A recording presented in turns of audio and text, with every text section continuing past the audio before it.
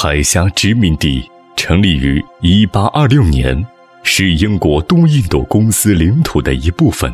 到1867年4月1日，它作为皇家殖民地，直接由英国控制，由马六甲、丁丁、槟城，也称为威尔士王子岛和新加坡，与圣诞岛和可可岛四个独立的定居点组成。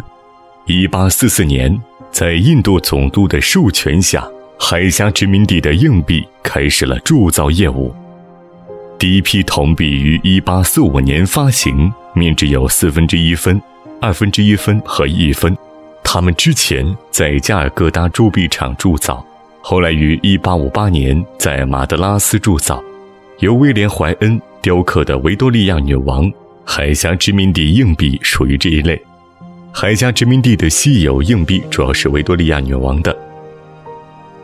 一八六二年发行了四分之一分、二分之一分和一分硬币，这些硬币上刻有“印度海峡”字样，日期为一八六二年。第一批带有“海峡殖民地”字样的硬币是在十年后以这种形式出现的，取决于五分、十分、二十分。一八八六年引入五十美分。一八七一年至一九三五年间，在维多利亚女王、爱德华七世和乔治五世的统治下，铸造了硬币。渐渐的，海峡殖民地美元成为联邦和非联邦马来国家可接受的法定货币。在接下来的几年里，美元、日元、墨西哥银和港元也成为该地区的法定货币。然而，在一九零三年，所有外国银元都被废止。三年后，该地区采用了黄金兑换本位制。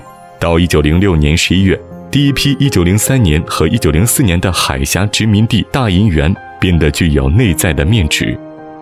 一九零七年、一九零八年和一九零九年间，发行了第二个系列较小的、银重量较低的海峡殖民地银元。最终，在一九三九年，马来亚货币委员会引入了一种新硬币，它于一九五二年被废止。If you find this video useful, please share and like. Looking forward to see you next time.